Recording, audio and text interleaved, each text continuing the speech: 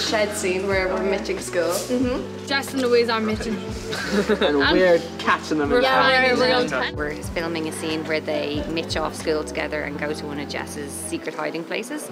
I think Louise needed Jess, and I think we kind of, kind of like a Yeah, I think I think Jess was maybe the only person to treat Louise like she wasn't a child after she got cancer. Mm-hmm. harsh.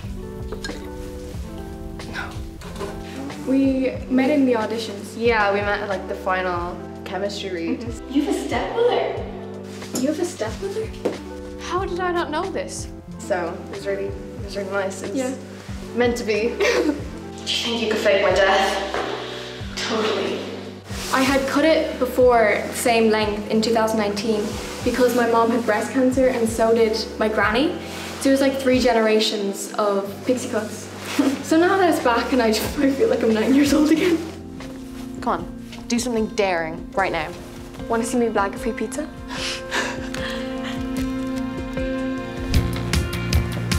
And then we're also filming a pickup from a scene that we shot in the school uh, earlier this week where the gang spot a pizza going to the shed. So we've got a lot of our cast here today.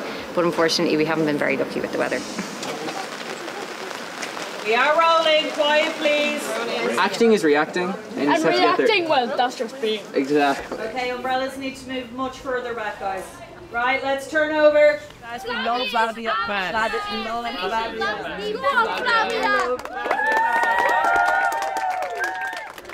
Right, let's turn over. I think we have discovered our runaways. Onward!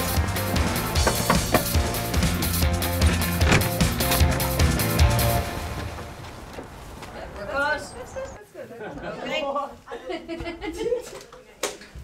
Out there.